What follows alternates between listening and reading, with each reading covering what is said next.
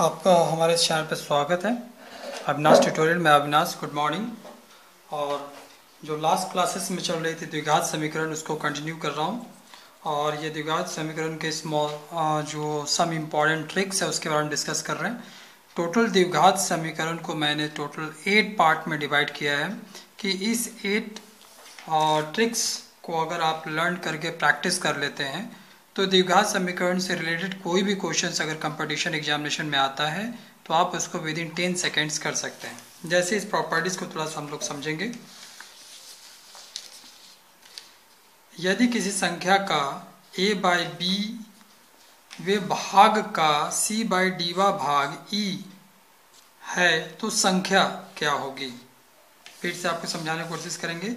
यदि किसी संख्या का a बाई बीवे भाग का सी बाय डीवा भाग ई है। तो वो संख्या क्या होगी? तो फॉर्मूला है ई गुना बी बाई ए गुना D by C.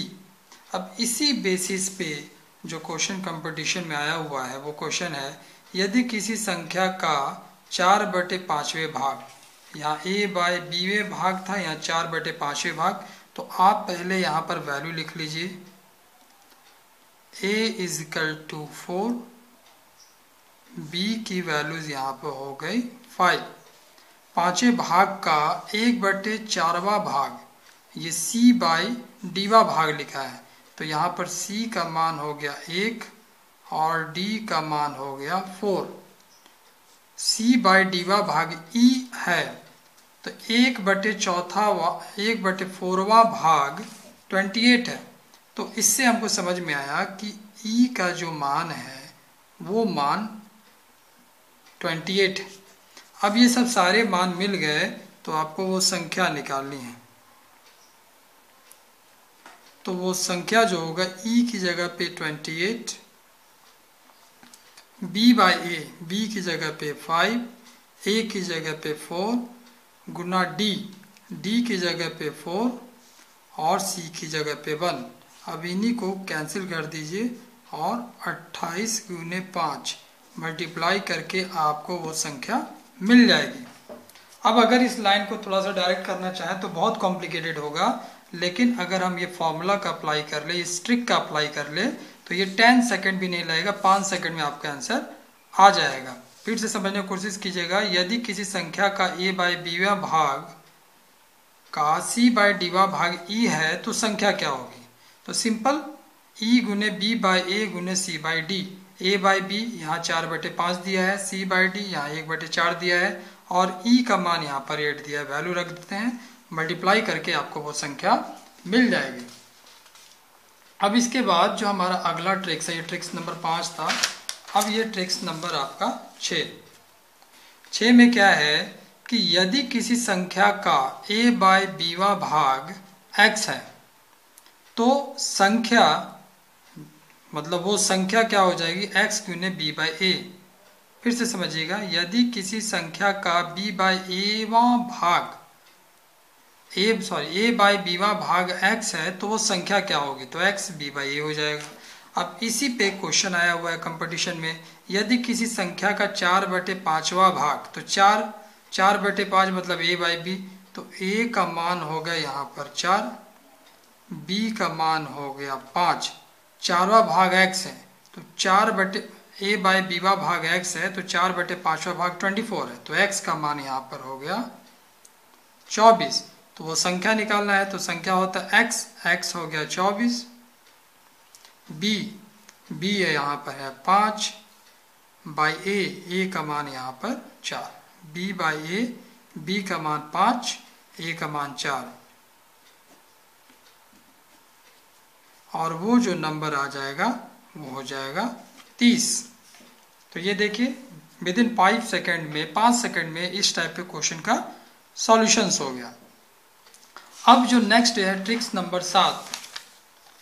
Tricks number सात में दिया हुआ है कि दो अंकों वाली संख्या, दो अंकों वाली संख्या को हम लोग generally ten X plus Y मानते हैं। दो अंकों वाली संख्या के अंकों का योगफल x है। तो उसके जो अंक है, जैसे मान लीजिए कि अगर एक नंबर हमने टेन एक्स प्लस वाई एक नंबर मान लिया तो ये दिया है कि अंकों का योग।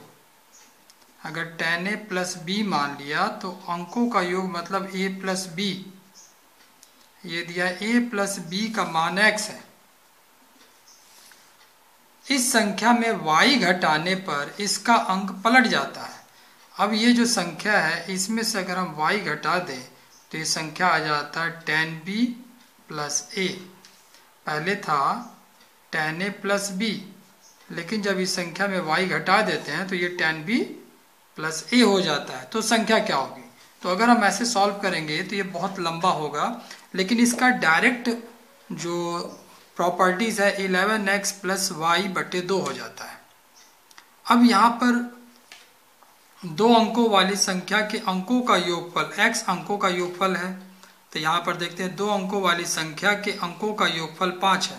तो इसका मतलब x का मान यहाँ पर पाँच दिया है अंकों का योगफल।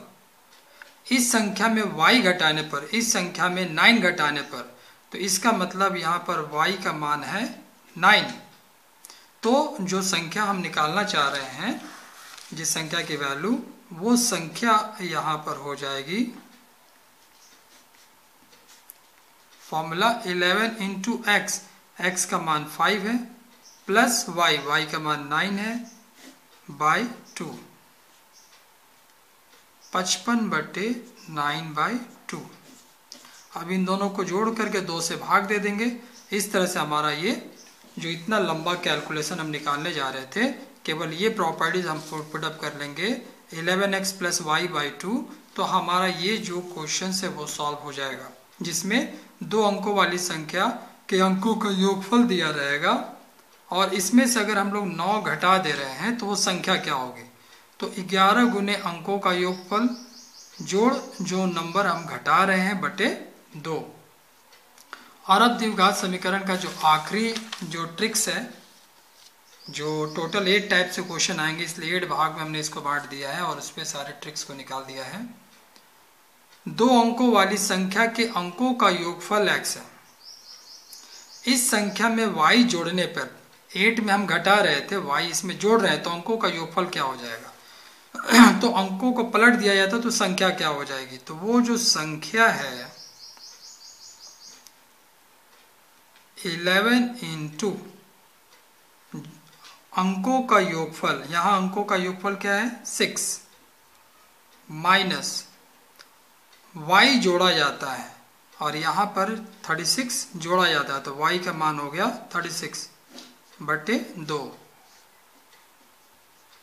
थर्टी सिक्स बटे दो, और यही घटा करके वो संख्या जो थी वो पंद्रह थी। तो आपको पाँच सेकंड लगा केवल इसको सॉल्व करने में। क्वेश्चन किस तरह का था?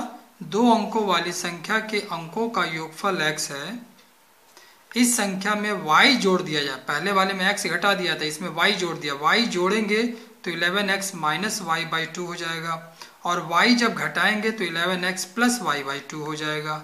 इस तरह से दोनों टाइप के क्वेश्चन आएँगे तो आप ऐसे करके सॉल्व कर लेंगे। अगली क्लासेस में हम लोग नेक्स्ट टॉपिक के साथ आएँगे। जय हिंद।